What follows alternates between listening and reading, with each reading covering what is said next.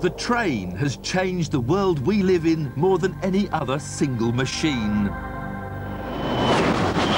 From the moment the first locomotive steamed into action, designers have been building trains to go faster and faster. 100 miles an hour, 200 miles an hour, and now 350 miles an hour. When you think of what a train actually does, the loads it carries, the speeds it goes, it's pretty astounding, really. It's a rush. I mean, you get on the train and it accelerates. It's kind of like flying on the ground. We're going nine times the speed of sound, or Mach 9, tomorrow night. And maybe, in the not too distant future, the ultimate train will go supersonic. Two, one, zero, fire.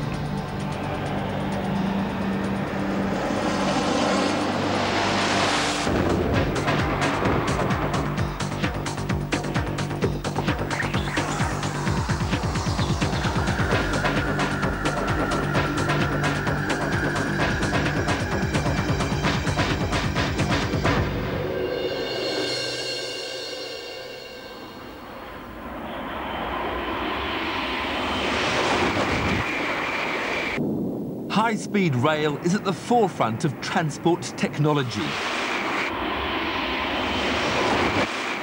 Today's machines are the result of over 200 years of innovation and craft.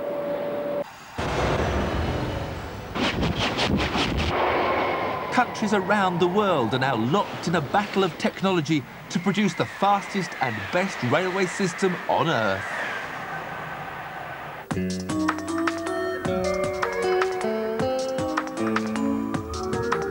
In America, more than anywhere else, the unstoppable rise of the automobile and the plane over the last century has beaten the train into near submission.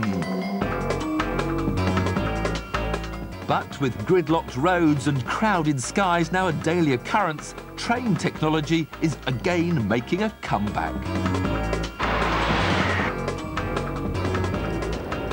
In the year 2000, Amtrak unveiled their answer to the 21st century's transport problems.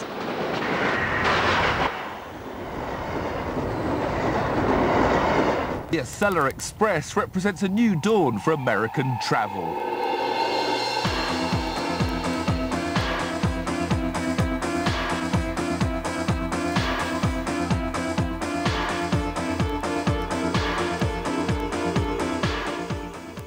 The Acela is faster than any train America has seen before, travelling at 150 miles an hour along a 100-year-old route known as the Northeast Corridor.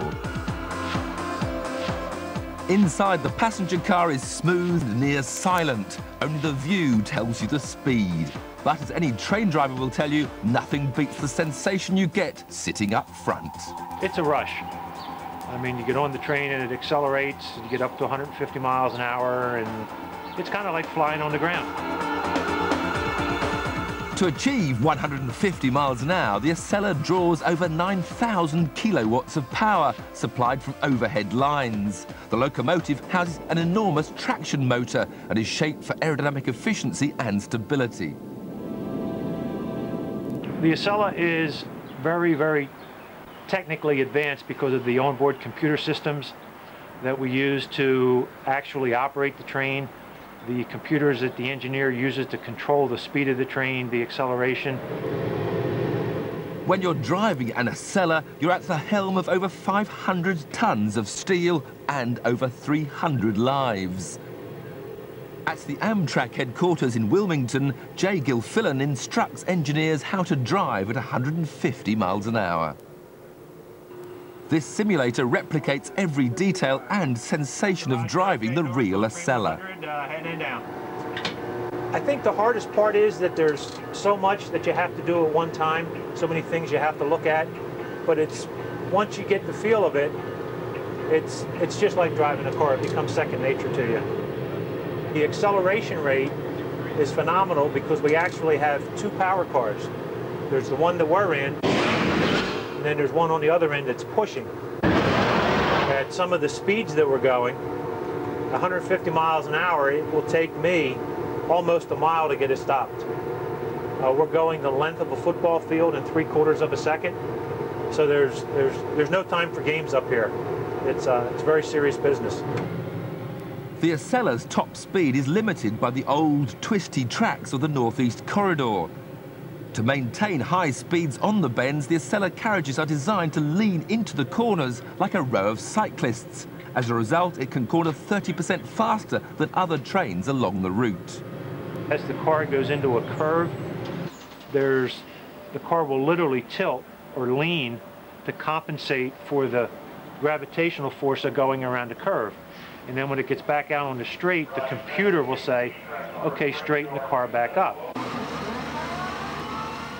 On the power car is a transducer that measures acceleration, deacceleration, the lateral g-forces, and it'll take that information and send it back to the computer on board the coach for the tilting system and tells the computer, okay, I need you to tilt X number of degrees based on how fast we're going and the lateral forces that we're experiencing.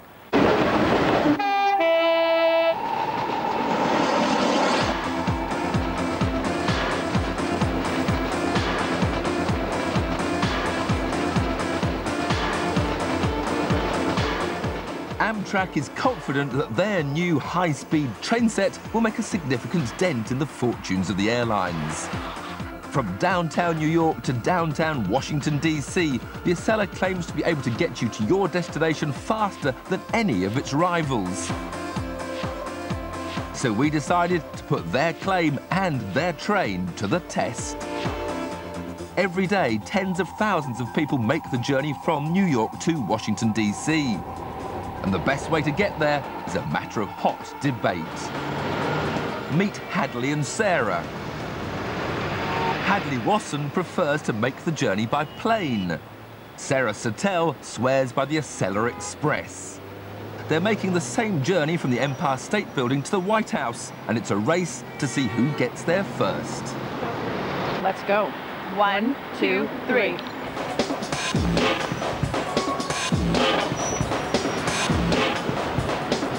Hi, JFK Airport, please. Penn Station, please. Sarah's short journey to Pennsylvania Station in the heart of Manhattan should take minutes. Hadley, on the other hand, has to take a cab to JFK Airport, 17 miles from the Empire State through New York's worst traffic bottlenecks. Once through security and check-in, Hadley's flight will take her direct to Reagan Airport. Sarah will board the Acela, riding the 230 miles to downtown DC by train. Then it's a race by taxi to the White House. I prefer flying because taking the train can be more expensive than taking a plane. The time that you save really isn't all that much, and I don't think you even do save any time. The only irritating thing about flying is having to go through security. Hadley's going to be left in the dust. Sarah's going to emerge the winner. Oh, I'm going to win. They're both sure of success, but who will get there first?